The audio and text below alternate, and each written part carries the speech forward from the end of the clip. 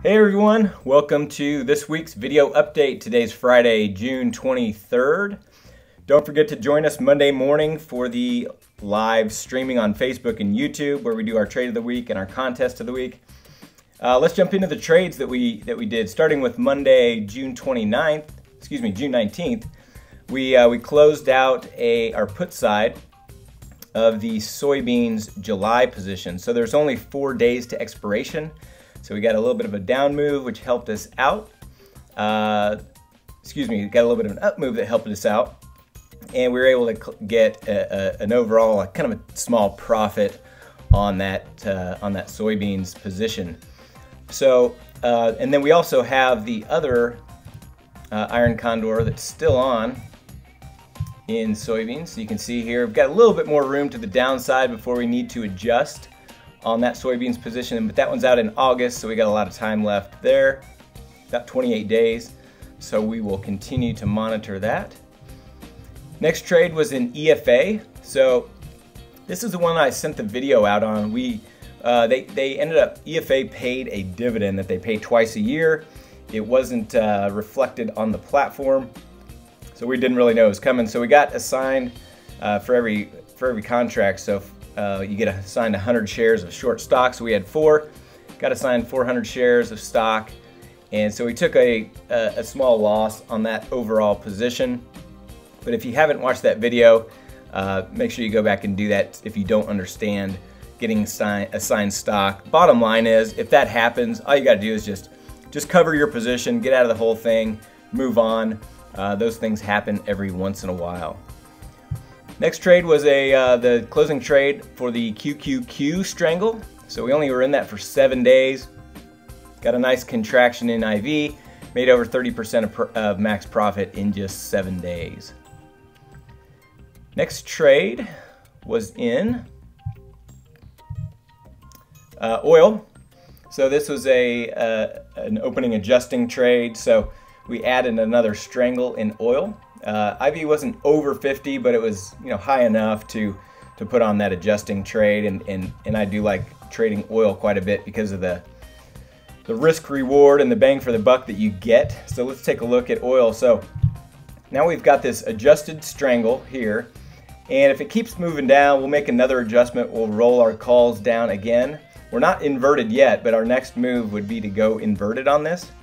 And in that August cycle, we've still got 24 days. So next week, uh, regardless if if it moves down or up or whatever, we're probably going to roll that one out early next week. We'll roll that one out to the September cycle.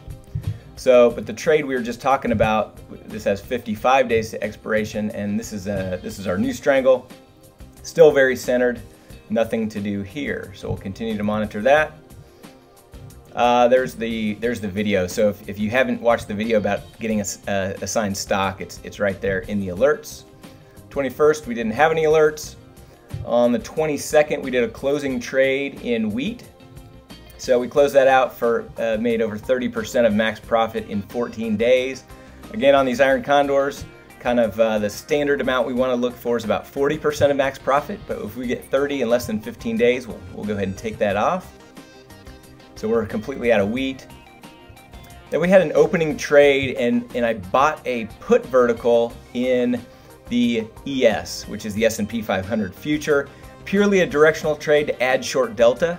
Uh, our, our deltas were pretty flat, so I wanted to get something on that added a little bit of that short delta to help protect us from some downside if the market ever decides to go down again. It's kind of suspect whether that's going to happen or not, but um, so so that's what we did there. I also mentioned uh, on the alert that you can you could have done this in SPY or SPX. I just like the risk reward that we got in ES and, and I prefer to trade the, the futures. But if you don't have futures permissioning or you just prefer to, to do the, uh, the equity options, you could have done that in SPY or SPX and, and accomplished the same thing. So this is just adding some of that short delta, a little bit of a short bias into our, into our overall portfolio. Next trade was a butterfly in Costco. So after the announcement of Amazon buying Whole Foods, a lot of these uh, grocers and and other retailers got, got hit a little bit, which spiked the IV. In this one, we went with the July cycle with only 28 days to expiration, so that way we're out of the trade before they announce earnings. So if we take a look at Costco, Steve, still see we're very centered. Uh, implied volatility has gone up a little bit, which has pushed our profit down, uh, profit line down, but still very centered. We obviously we just put this on, so we'll continue to monitor Costco. You take a look at the chart, I mean, look at this, this huge downside. And, and the thought is, A, implied volatility is so high, and we're hoping it just kind of stabilizes around this price, giving us a chance to, uh, to take a profit on that butterfly. I looked at doing an iron condor as well, but just wasn't getting enough credit to make it make it worthwhile. So that's one of the other reasons I, I did the uh, kind of tighter, tighter butterfly instead. Next trade was an opening trade in RUT. So the uh, Russell 2000 index, implied volatility is at six. Uh, looking to put on a calendar to benefit from an expansion in implied volatility. So if we take a look at RUT, and you can see IV's gone down since then even, it's down to one. So uh, the Russell definitely the strongest of the indices today. You can see up 0.61% at this time, whereas the Dow is barely up and ES is up about a quarter percent.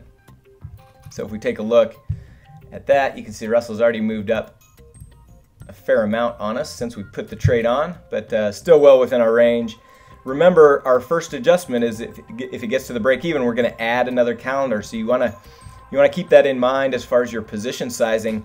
And if the rut is too big of a symbol for you to trade, you can always do the same thing in IWM.